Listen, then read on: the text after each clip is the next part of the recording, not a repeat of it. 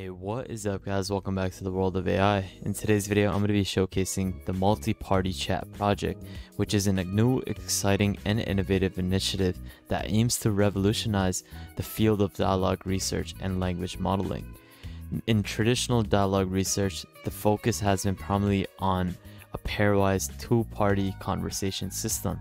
This basically ignores the everyday reality of a multi-party conversation. Now, the multi-party chat project addresses this gap by focusing on the multi-party conversation and developing strategies for language models to participate in such languages. So this is something that we're going to be checking out in today's video.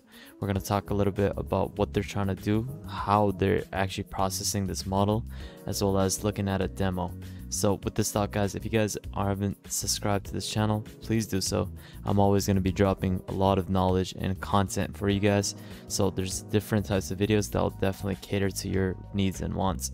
Now, if you guys aren't subscribed, please do so. Like this video and comment anything that you want to see in future updates.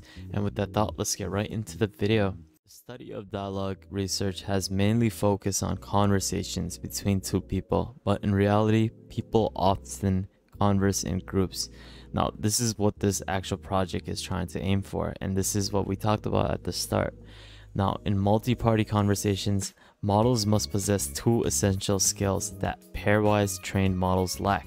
The ability to determine when to speak and the capacity to produce a coherent utterance grounded in multiple characters.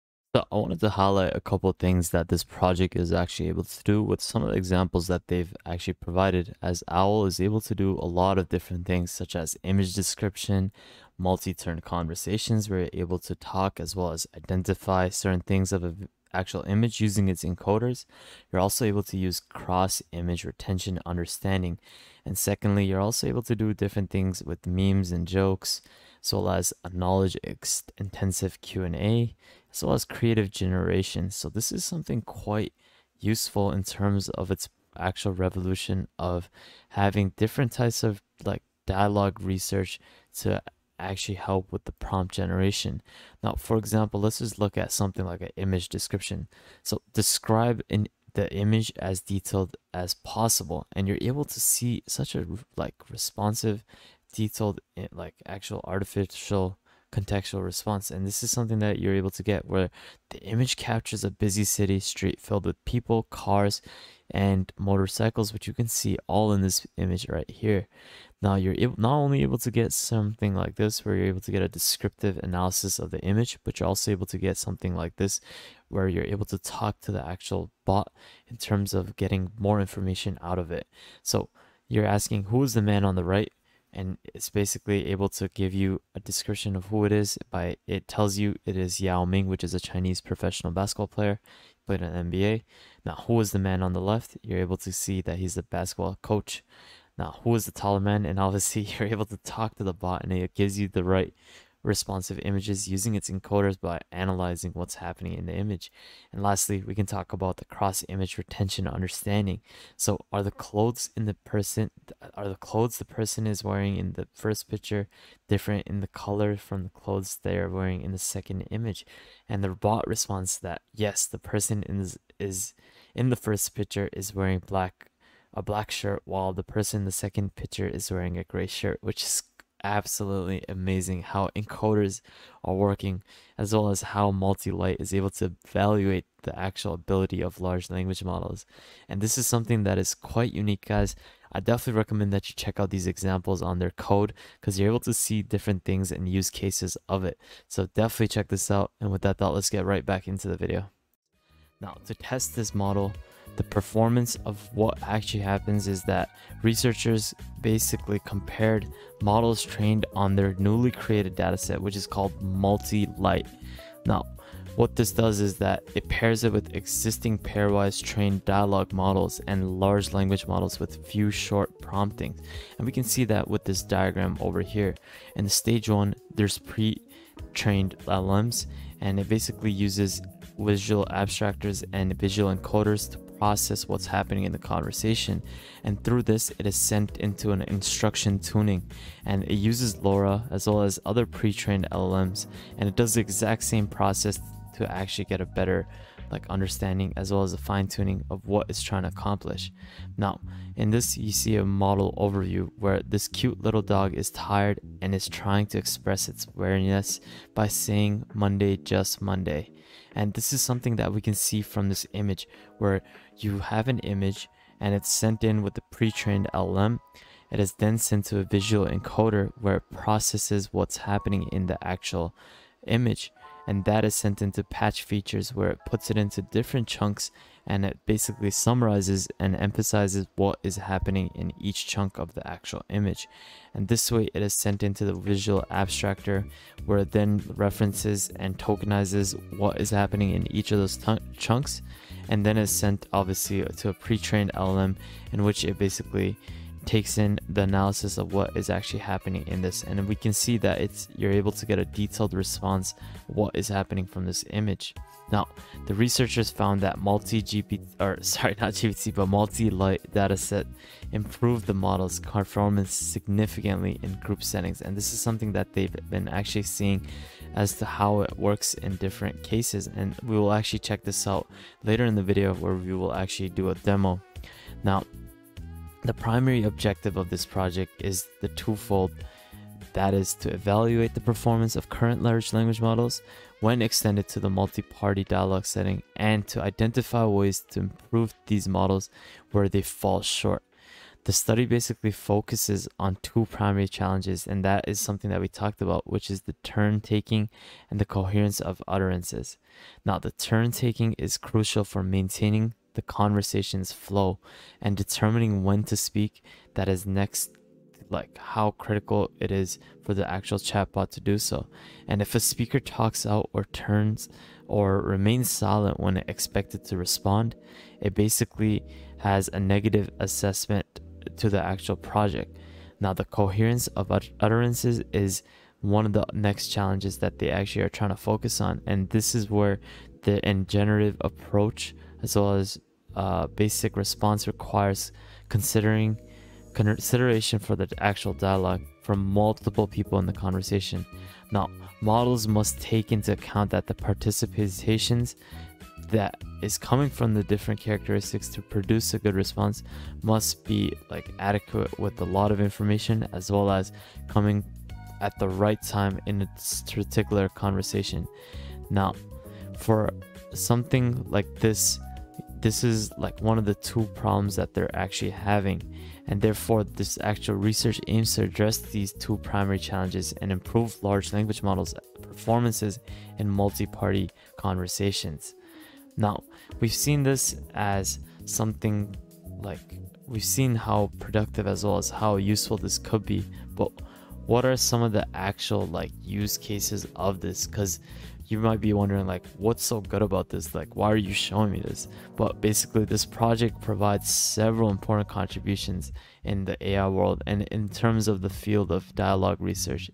And those ones are like in terms of like some of the benefits. Firstly i would say is it focuses on the multi-party conversations which is an important but an overlooked aspect in dialogue research. Now i don't know if you guys know about a lot about this but by collecting and evaluating multi party conversations in a structured environment, like something like a conversation of a cross image relation or something with a multi turn conversation.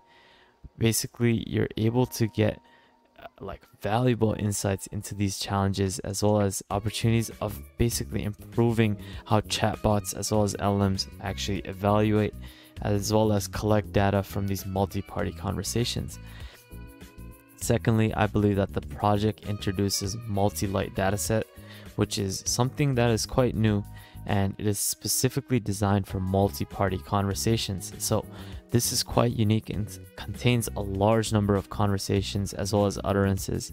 Now, the dataset provides a valuable resource for researchers to develop as well as evaluate language models for multi-party conversations. And lastly, I feel that the project Uh, basically identifies two main challenges in modeling multi-party conversations and that is the turn taking and the coherence of utterances. And basically it proposes strategies for addressing these challenges and i feel like as time goes on we're going to be able to see a progression for multi-party conversations in the structured environment. Now this is something that you can get a better understanding in in terms of its research paper so i highly recommend that you check it out as there's a lot of information and a lot of different detailed analysis as to what they're trying to do as well as their roadmap. So i highly recommend that you check this out and i'll leave it in the description below. Now let us check out the actual use cases of this with the actual demo model. So let's actually check out this demo now. Now basically i just use one of their examples because it's much easier than generating my own. But basically, it is saying that can you write me a master rap song that rhymes very well with the based on this image? And basically, it was able to do so. And we can see it's able to contextually as well as demonstrate the model's ability to generate coherent and contextual appropriate like responses in a group setting. And this is something that we'll also check out with other different like showcases of this demo. We can see what is so funny about this image. And the great thing about this is that we're able to see that's able to understand as well as use its encoders very very well. Now let's put this in and see if we're able to generate this. Now through this demo basically we're able to experience and the challenges as well as the opportunities of a multi-party conversation. And it basically is going to help us get a better understanding of these techniques and strategies used in large modeling for group setting. Now this demo is basically going to offer us a glimpse into the exciting world of dialogue research guys because this is going to be having this is going to give us so much potential for innovation and solutions of this field now i don't know oh we got it right here. So from this, we can see what's so funny about this image. Describe it panel by panel. And we can see that the image features a grandma rocking out a music with her sunglasses. And while on a USB cable, I'm plugging it into a cell phone. The grandma's enthusiasm and her unusual choice of music are what is what makes it actually funny. And we can see that it actually detects like the skin as well as like the wrinkles on the finger to give you a better response as well as it makes a story of as to what it's trying to describe by this panel. Now let's check out one more.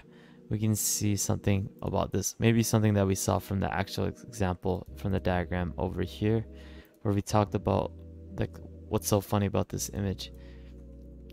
So let's generate this and I'll leave the links down in the description below and you can also even play around with the top K as well as like how much you can spend in terms of tokens so let's see what I will do for this actual generation. Explain why it's so funny to me. Monday, just Monday.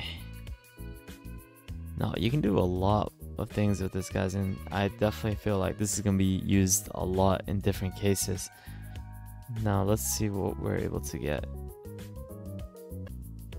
I didn't scroll up, I kept pressing it, I kept getting more generated responses, but we can see you're able to get like even more different types of responses, which is quite cool. Now, we can see something like this, a short one. This meme is funny because it combines two common phrases and that people often use when they are tired or feeling unenthusiastic. Now, the first line, it's not even Monday yet, implies that it's still early in the week and that the speaker is not looking forward to the upcoming weekend or the workday. So, it's quite amazing how these encoders, as well as these visual like construction, is like based off with these large language models. And this is something cool with this model, guys, because the multi chart, like multi party chart chat project, like is gonna show the capabilities of language models in participating in multi-party conversations and i personally feel like there's going to be a huge potential for this in the future guys because there's going to be a lot of use cases as well as different ways to utilize this in the business front. So with that thought guys i hope you found this showcase on this project quite useful. There's a lot of people actually looking into this so i highly recommend that you check it out. You can install it as well as use it using the core libraries over here. You can also install it locally on your desktop. So if you want to check that out, you should definitely look at the link that I'll send and as well as put in the description below. Now with that thought guys, thank you so much for watching. I hope you enjoyed this video. If you want to let me know what I should like focus on next time, definitely let me know. Uh, please subscribe and like this video guys as I'm going to be po posting a little bit more throughout next weekend. Probably won't get a chance these next few days, but I'll try my best to keep putting out value so that you guys can benefit. So with that thought guys, thank you so much for watching. I'll see you guys next time. Have an amazing day.